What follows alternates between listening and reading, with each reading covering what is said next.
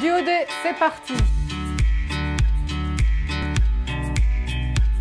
Bonjour à toutes et à tous. Le 26 avril prochain, je vous invite à partager une journée avec une personne en situation de handicap.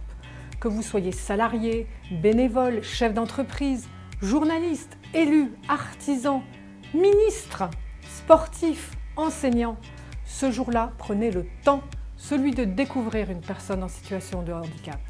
Apprenez à la connaître, apprenez à vous connaître. Grâce à ce Duo Day, ouvrez-vous à la différence, à la diversité, à la richesse de notre société. Ces rencontres permettront à chacun de mieux s'apprécier, créeront des amitiés, des vocations, ouvriront des opportunités de collaboration future, illustreront les possibilités de faire bouger notre société. Tout le monde peut participer à cette journée. Et si vous cherchez votre binôme, il vous suffit simplement d'aller sur notre site duoday.fr.